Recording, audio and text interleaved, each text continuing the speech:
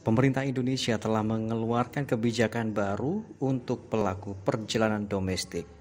Disampaikan Menteri Koordinator Bidang Maritim dan Investasi, Luhut Bin Sarpanjaitan, untuk syarat wajib bepergian domestik kini tidak perlu lagi menunjukkan rapid test antigen maupun PCR.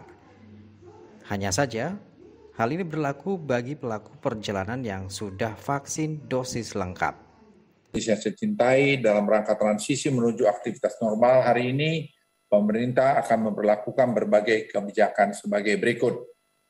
Pertama, pelaku perjalanan domestik dengan transportasi udara laut maupun darat yang sudah melakukan vaksinasi dosis kedua dan lengkap, sudah tidak perlu menunjukkan bukti tes antigen maupun PCR negatif.